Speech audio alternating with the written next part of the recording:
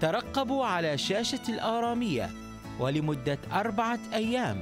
ابتداء من يوم الخميس الموافق 13 مارس نقل حي مباشر للمؤتمر العاشر لاجتماع الأخوة في أورورا أونتاريو. يستخدم الرب في هذا المؤتمر خدام الكلمة الدكتور محب نصيف والدكتور إكرام أنور والدكتور إيليا موريس.